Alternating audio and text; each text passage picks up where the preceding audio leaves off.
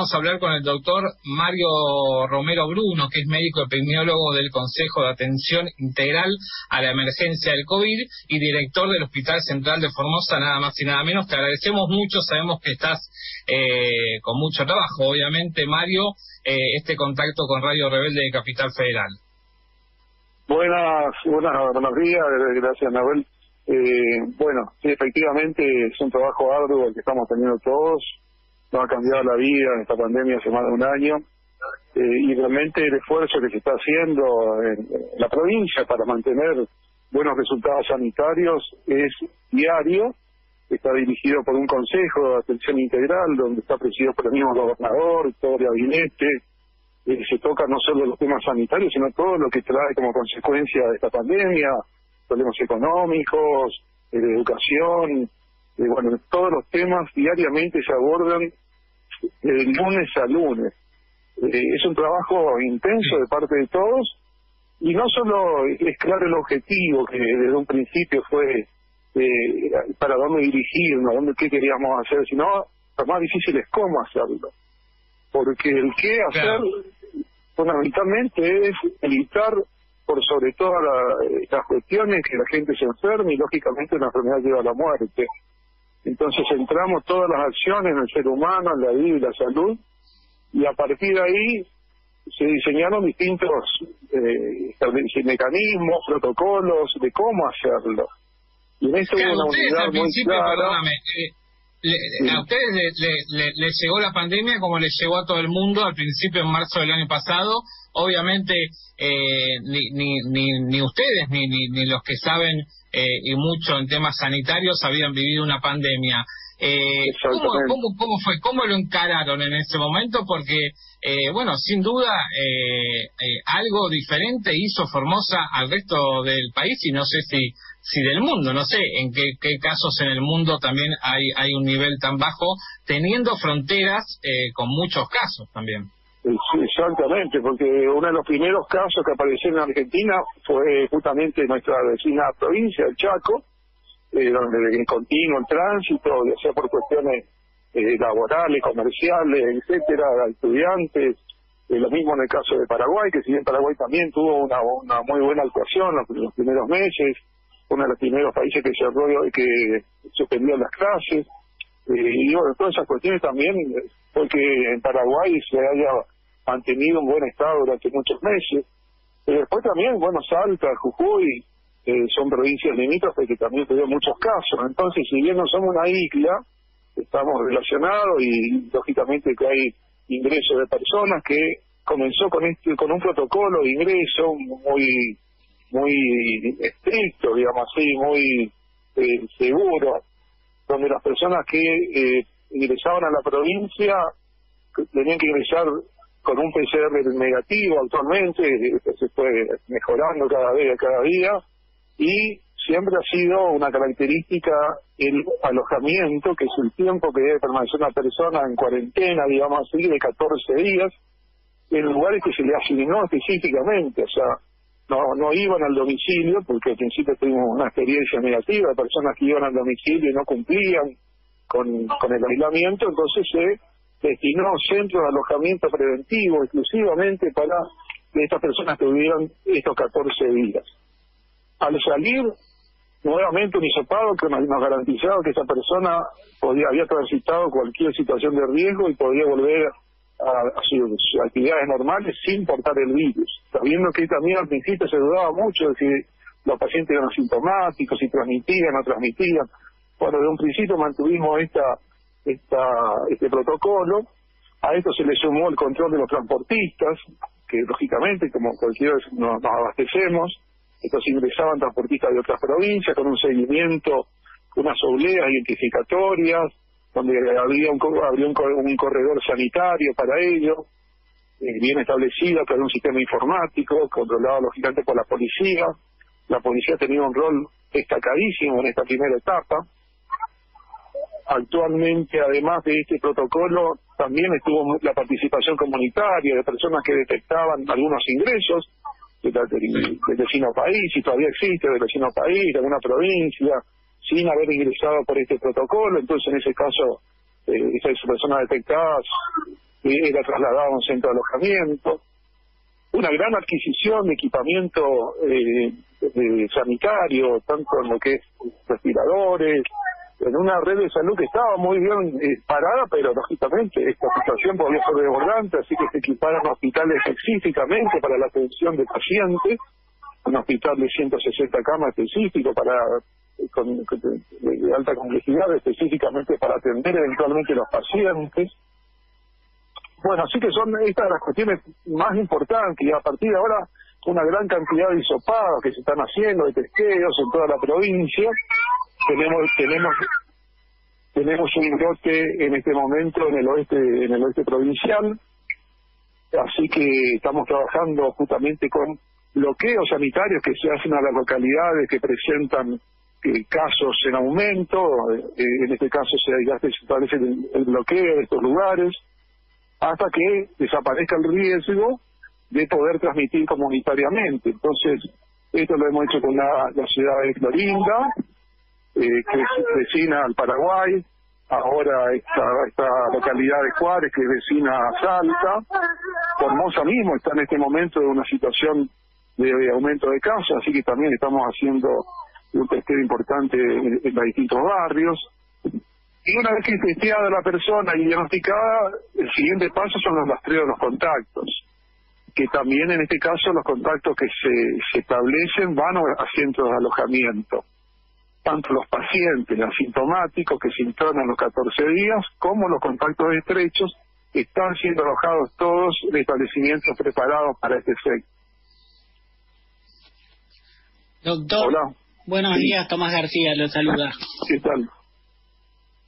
Sí, quería consultarle, ¿ahora están en, en fase 1 allá en Formosa Capital? Tenemos en Capital... ¿Cómo es la situación, digamos, de, de fases?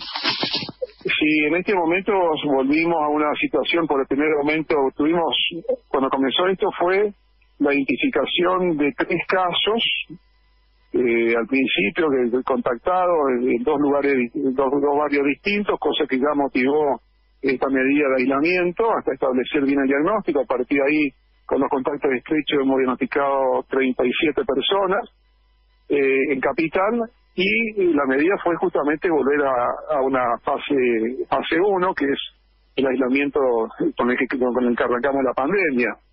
Eh, únicamente las actividades esenciales, esto ya lleva 8 o 9 días, y bien, mientras tanto estamos realizando estos testeos importantes en, en, en, casa, casa por casa, porque se hace un trabajo eh, en cada eh, en cada barrio, donde se visitan con las brigadas constituidas por eh, técnicos y bioquímicos, para hacer los hisopados, con enfermeros, con trabajadores sociales, con la policía acompañando siempre. Y bueno, esto es lo que estamos realizando en este momento. Así que fase 1 tenemos en, en Capital, también en la zona oeste de Ingeniero Juárez, donde ahí sí tenemos una importante cantidad de casos, eh, mucho más de lo que nosotros teníamos acostumbrado durante todos estos meses. Este año realmente eh, ha aumentado la cantidad de casos en este en este distrito. Y Clorinda, que constantemente, lógicamente, nos tiene siempre preocupados por el movimiento eh, fronterizo que, que, puede, que habitualmente tiene. No, marcaba esto también porque, digamos, es un modelo bien distinto a lo que vemos en, en el resto del país, ¿no? Porque ahí nos estabas contando que, eh, bueno, una decena de casos se generaron y ya volvieron a fase 1. Eh, por ejemplo, en Capital hay un promedio ahora de 1.500 eh, y todavía se, eh, digamos, no, no se regresa ni a fase 3, digamos. Pero pero digo, lo que quería marcar también tiene que ver con este modelo distinto y cómo se, se buscó durante todos estos meses, ¿no? Con tan pocos casos de allá, eh, por ahí, eh, tratar de, de enchastrar, digamos, este logro y hablar de, no sé, de, los controles eh, exhaustivos como poniéndolos como algo negativo, ¿no? Del gobierno de Formosa, eh, de la provincia. ¿No? ¿Cómo qué lo atribuís vos esto? Eh, bueno, primero tenemos que ver cuáles son los resultados que uno busca. Ante esta situación de entrada, como dijimos, eh, el objetivo fue evitar o suprimir la pandemia, disminuyendo la mayor cantidad de casos. evitar la cantidad de muertos que, que podía tener eh, la provincia. hemos terminado el año con un solo fallecido. Eh, durante este tiempo hemos tenido dos fallecidos más, o sea que la provincia tiene tres fallecidos. Eh, y realmente, bueno, cada uno nos duele, lo reconocemos hasta con nombre y apellido. así que ese es el objetivo, se mide por estos resultados sanitarios. Ahora, ¿por qué? ante esta realmente bueno, buenos resultados que estamos teniendo y somos comparables, creo que no sé si eh, si Nueva Zelanda tiene los resultados que estamos teniendo eh, en Formosa y no somos una isla, repito, estamos conectados a un amplio territorio. Eh, sin embargo, somos objetivo, objeto de críticas. Entonces uno no entiende realmente, eh, o mejor dicho, entendemos de que no es una cuestión sanitaria la que están evaluando, sino cualquier otra cuestiones es como querer buscarle el pelo en la sopa eh, y buscar cualquier situación por ahí que son incómodas las medidas, reconocemos que muchas son incómodas, lógicamente, pero el objetivo es común a todos, buscamos bien común, que es eh, la salud y la vida de los 640.000 habitantes.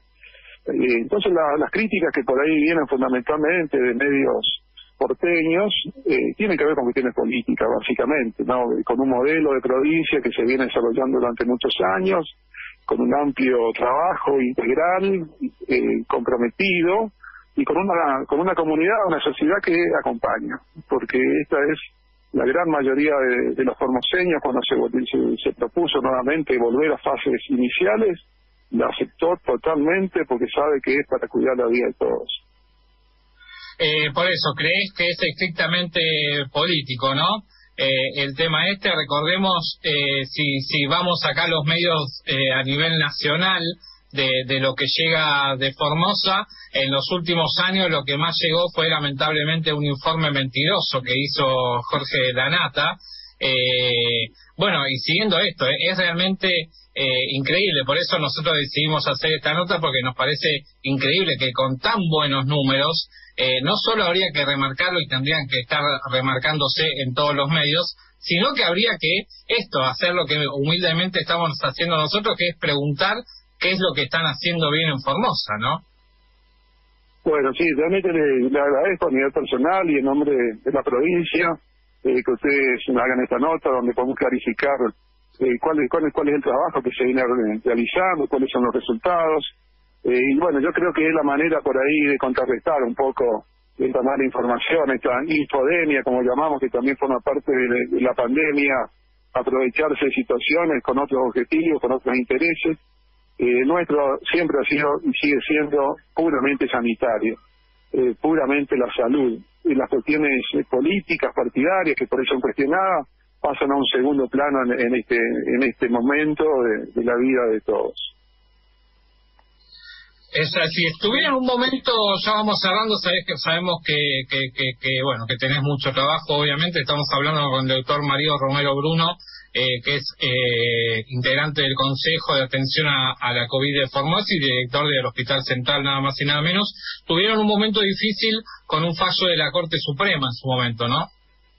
Bueno, justamente a raíz de este programa de ingreso ordenado y administrado, que sí produjo una demora en el ingreso de personas, eh, tanto que tenían su domicilio en la provincia, como que también no lo tenían, pero que querían ingresar por diferentes motivos, y fue también utilizado, lógicamente, por algunas eh, personas para poder hacer todo un cuestionamiento legal, que en definitiva después puso a prueba, porque el fallo puso un, plazo de 14 días para que ingresen más de 8.000 personas, un ingreso que pretendían que iba a ser eh, abrupto, desordenado, lógicamente, lamentablemente las personas portan el virus y eso había sido algo catastrófico. Sin embargo, todo eso, ese fallo eh, que dio la Corte, dando un plazo de 14 días para que la provincia haga ingresar esta cantidad de personas, se ha preparado centros de, alojamiento en toda la provincia, tanto en hoteles, que son todo esto es financiado por el Estado. Eso también quiero aclarar, de que todos los centros de alojamiento, la alimentación, eh, cuestiones hasta, hasta menores, que hace hasta cuestiones de higiene, bueno, todo eso es provisto absolutamente por el Estado, y esto se ha determinado 8.000 lugares que se han preparado para dar respuesta a este ingreso eh, compulsivo que ha tenido la Corte. Y así que dentro de todas esas personas también aparecieron muchas que realmente estaban inflando esta cantidad de casos, cuando llegó el momento real de las personas que iban a ingresar fueron algo así como cuatro mil, cuatro mil y pico de personas que ingresaron dentro de este, de este fallo. Eh, y bueno, se dio respuesta dando justamente en pocos días eh, esta seguridad a la provincia que las personas que ingresaron de otras provincias tuvieron estos 14 días de aislamiento con hisopados negativos para volver otra vez a su, a su domicilio y a sus actividades normales. Eh, y bueno, esto también lo hizo, primero, evitar muchos ingresos, porque también se pidió una PCR, un, test negativo para ingresar, o sea, había muchas personas que ya de entrada tuvieron eh, test positivos, y muchos que tuvieron en el transcurso de los, de los 14 días, que también después, a partir de que son positivos, se los traslada a un hospital exclusivamente destinado para eso. Eh, y bueno, esto evitó la transmisión, evitó la propagación y, nos damos cuenta que el virus no perdona las oportunidades que le damos, tanto a nivel de las políticas de salud públicas y las decisiones individuales en el cuidado, el virus aprovecha esto y produce el daño que está produciendo. Eh, doctor Mario Romero Bruno, desde Formosa, te agradecemos mucho estos minutos y seguimos conectados, obviamente, para lo que quieran aquí en Radio Rebelde. Bueno, muchísimas gracias, un saludo para todos y a cuidarse.